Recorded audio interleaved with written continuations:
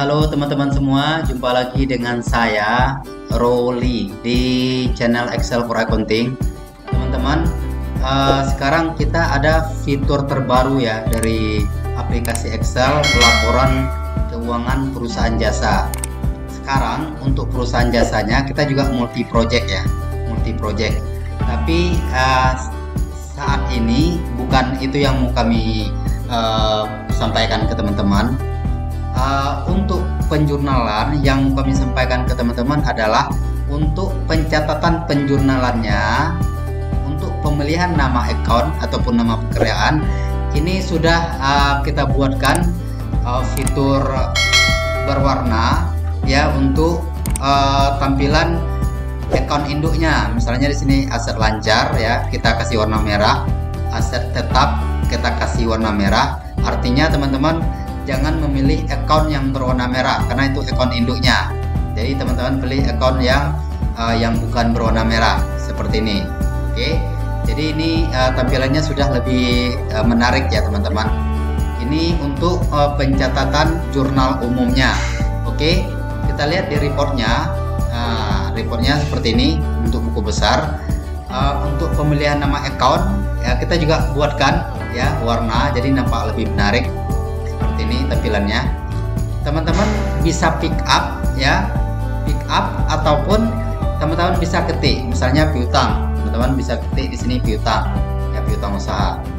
Uh, tapi ini yang versi online ya teman-teman ya. Atau kita menggunakan Google uh, Sheet ya atau spreadsheet Google ya.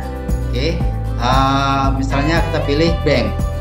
Di sini bank BNI misal. Ini bank ya buku besar bank kemudian uh, ada buku besar pembantu hutang piutangnya. Tampilannya seperti ini. Kita juga tandakan yang warna merahnya dengan pemilihan di nama ya teman ini teman-teman. Ini PT Jaya Abadi. Oke tampilannya seperti ini. Oke ini untuk laporan piutangnya teman-teman. Ini penjualan kemudian pelunasan ada saldo. Jadi kita bisa lihat uh, hutang ataupun piutang yang outstanding ya teman-teman ya oke ataupun utang yang uh, belum dibayarkan. Ini laporan laba ruginya teman-teman bisa perhatikan jalannya seperti ini.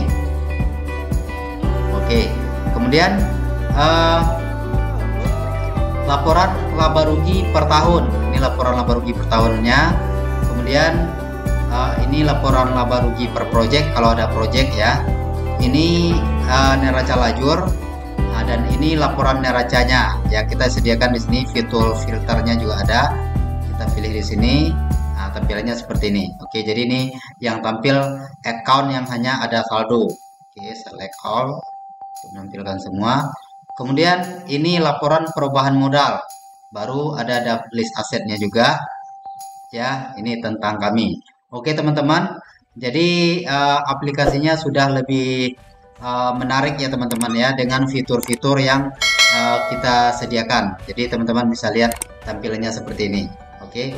Jadi ada uh, ya tampilan ekornya yang lebih menarik aja teman-teman.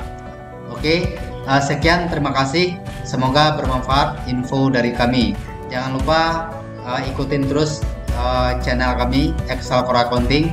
Jangan lupa di-share ke teman-teman kita yang lain uh, dan supaya teman-teman yang lain bisa mendapatkan manfaat yang sama uh, sama halnya dengan teman-teman yang sudah menonton channel kami.